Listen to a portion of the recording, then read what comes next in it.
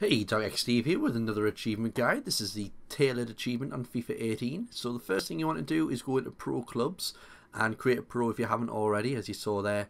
You then go into the traits and you just select any trait you want to use. There you go. I'm going to fill up there to get another achievement, which you'll see another guy. But actually, this will get you another achievement at the same time if you want. I forget the name of it.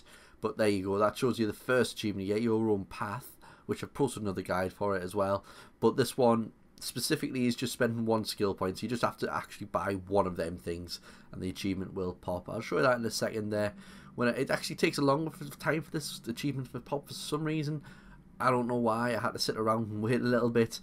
Uh, I don't know if the same delay will happen to you. I don't know if you've got to stay on the screen in order for it to pop. But I don't know. Um, but like I say, in a couple of seconds you'll see I came out of that screen and then the achievement popped in a second I'm stalling for time here. I'm sure it popped. There you go. There it is. There it is. You'll see that the tailored achievement goes as well. That should go from first really for spending one rather than all three, but it doesn't matter. Yeah, you get it there. I hope this guide helped out. If it did, please leave a like, comment and subscribe, and I'll see you in the next video. Bye.